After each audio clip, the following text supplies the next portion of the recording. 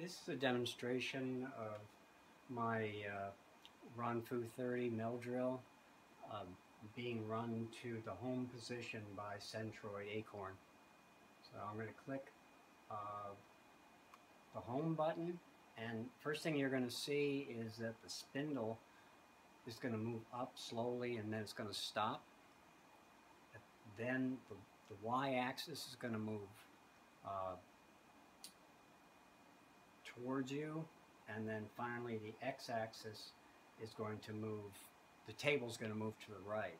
So with respect to the cutter which is the way you should think about this the uh, z-axis the spindle is going to move up.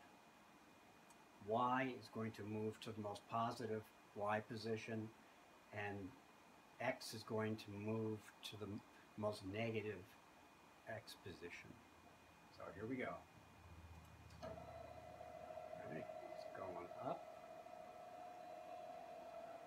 Once it detects home, then it's going to stop.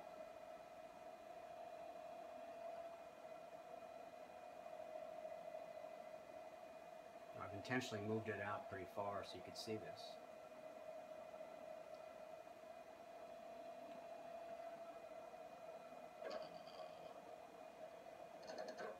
Okay, it's found X, I mean Z. Now it's moving Y. The table is moving towards you, which means that the cutter, the spindle, center of rotation is moving away relative to the table. And uh, it's going to take a while because I did manually move it. It's got about another quarter inch. Okay, any moment now.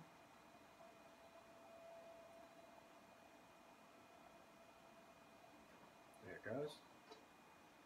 And next is the uh, the x-axis.